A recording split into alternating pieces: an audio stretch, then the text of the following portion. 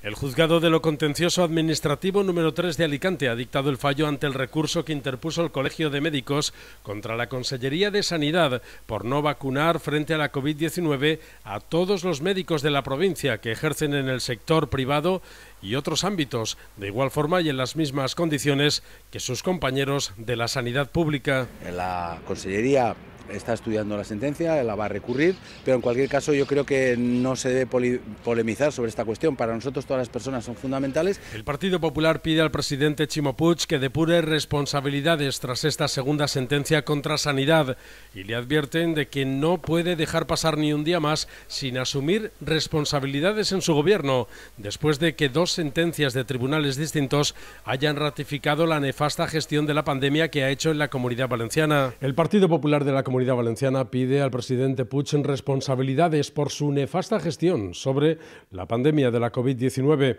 El presidente Carlos Mazón va más allá y dice que cuando un político se equivoca, tiene que buscar la puerta de salida. No hace mucho tiempo escuchábamos al Partido Socialista y a los partidos de la oposición decir que en política no se piden disculpas, se dimite o se asume responsabilidad. Son dos condenas eh, no solamente simbólicas, sino que representan una realidad la desatención, y además las dos especialmente en la provincia de Alicante. Parece eh, que puede haber más eh, reclamaciones en los próximos eh, días de otras provincias de la comunidad valenciana. La callada por respuesta ya no es una solución.